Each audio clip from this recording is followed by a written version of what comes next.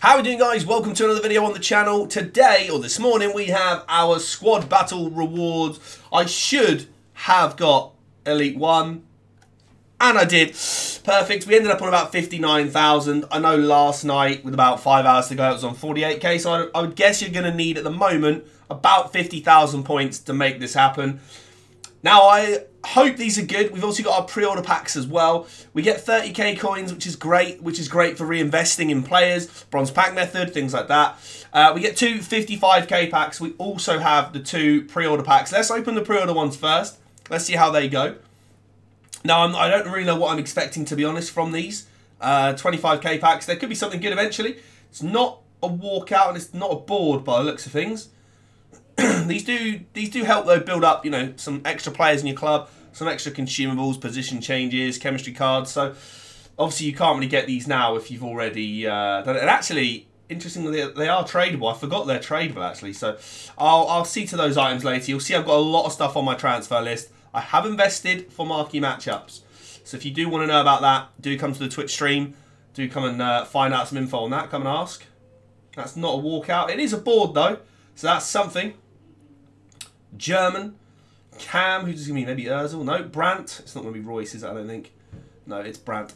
I've seen a few people get fooled by that and go, oh my god, it's Reus. And then it's it's just not, no.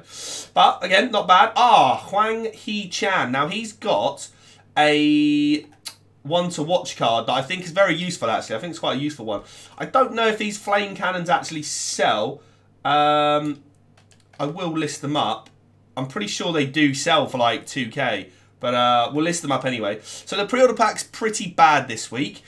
Let's see if Squad Battles is any better. It's always worth doing, though. Always worth doing. It's not a walkout, and it is a board. So the rare mega packs do give you a lot of stuff. They give you a lot of stuff. This is going to be what? Jimenez? Is he 84 this year? 84. Okay, so that's not bad again for SBC. Bit of SBC fodder. See what else we've got in the club. 81 again, look, you get loads of rare contracts. They will sell for 200 each. Two Hunter cards, that's pretty good. Um, stadium theme I'm going to get rid of. Bakambu might sell. Otavio might sell. Paredes might sell.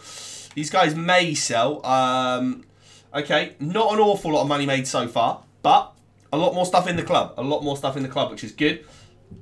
The final rare mega pack. 55k pack. Was it worth squad battles on week one? No walkout. It doesn't even look like a board, actually not great.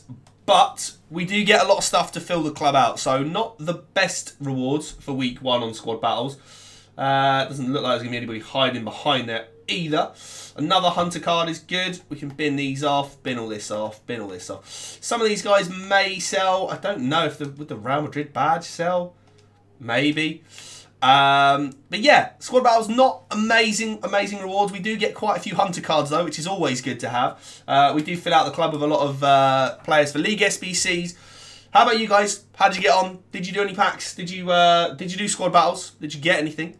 Do let me know what rank you got. Let me know if you packed anything from the rewards or from your pre-order packs. Do subscribe if you're new. Thumbs up, comments. I'll see you soon.